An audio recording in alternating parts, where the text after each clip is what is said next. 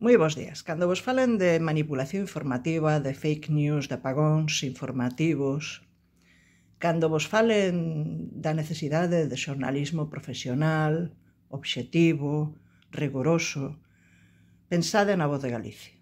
Pensade na voz de Galicia, este, esta plataforma, subvencionada con cartos de todos e de todas, pensade neste titular e pensade na letra pequena Vox entrará en el gobierno de Castilla León.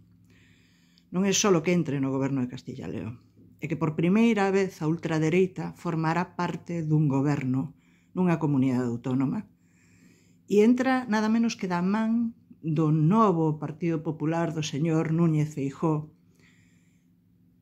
ao que non se menciona, nin se menciona o Partido Popular, nin se le menciona, dixe que vai ser o candidato único a, a presidencia, pero que xa está ao cargo do Partido Popular. E esta é a primeira decisión, xunto coa de tapar a corrupción de Ayuso, que o señor Feijó permite, o moderado señor Feijó.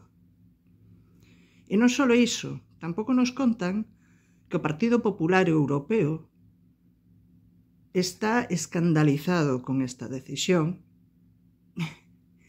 e din que agardan que sexa un incidente ou un accidente porque dende logo é infumable. Esta é o xornalismo profesional da Voz de Galicia. Son uns profesionales en tampar as vergonzas al moderado Alberto Núñez Feijóo.